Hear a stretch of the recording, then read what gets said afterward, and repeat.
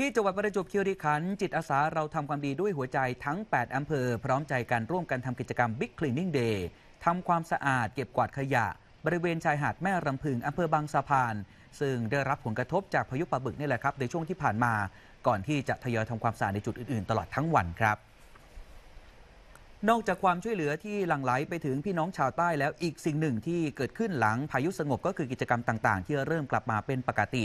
โดยเฉพาะเรื่องของการส่งเสริมการท่องเที่ยว เช่นงานวิ่งมหัศจรรย์สันหลังมังกรตันหยงโป ที่ตำบลตันหยงโปอำเภอเมืองจังหวัดสตูล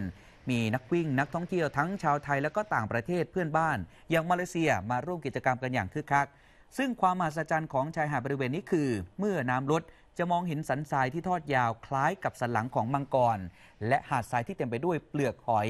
จนดูคล้ายกับเกล็ดมังกรที่โผล่ขึ้นมาเหนือผิวน้ำมองแล้วก็เหมือนมังกรกำลังเคลื่อนตัว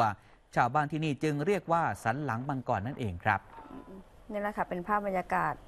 เรียกว่าคึกคักกันเลยทีเดียวคค่ะรับหลังจากที่เขาบอกว่าฟ้าหลังฝนย่อมสดใสเสมอครับเนี่ยแหละค่ะ เยอะทีเดียวนะคะ เพราะว่ากิจกรรมการวิ่งเนี่ยต้องบอกว่าหลาย ๆ อาทิตย์ที่ผ่านมาเนี่ยหลายเดือนก็ว่าได้นะคะ ช่วงสุดสัปดาห์แบบเนี้ยก็จะมีการจัดกิจกรรมการวิ่ง ทั่วทุกที่เลยในประเทศไทย แต่อย่างอันเนี้ยเป็นพื้นที่ภาคใต้หลายคนก็มองว่า เอ๊ะ พายุเพิ่งจะผ่านไปอยู่ในช่วงของการฟื้นฟูเยียวยาเนี่ยจะจัดกิจกรรมได้หรือไม่เนี่ยแหละค่ะเป็นภาพที่ยืนยันว่า เมื่อพายุไปแล้วยังจัดกิจกรรมได้อยู่แล้วก็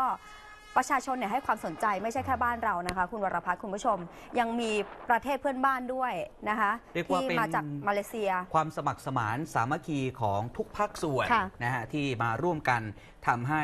กิจกรรมดีๆอ่าทำความสะอาดท้องทะเลที่ได้รับผลกระทบค่ะ นะฮะแม้ว่าเหตุการณ์จะเกิดขึ้นยังไง แต่สุดท้ายเนี่ยมันก็ต้องมีการฟื้นฟูแล้วก็เยียวยาแล้วก็ซึ่งจะทุคผ่านไปได้ด้วยดีด้วยซึ่งทุค่ะ กคนก็พร้อมใจที่จะมา ทำให้พื้นที่ที่ได้รับความเสียหายกลับมาสวยงามดังเดิมนั่นเองครับเมื่อสักครู่เห็นว่ามีการเล่นดนตรีด้วยนะ เป็นการแหมผ่อนคลาย ใครที่มาเดินวิ่งนะรู้สึกว่าเอ๊ะเหนื่อยๆพอฟังดนตรีไปวิ่งไปเอ๊ะร้องเพลงไปก็เพลินดีนะคุณวรพัฒน์ครับอ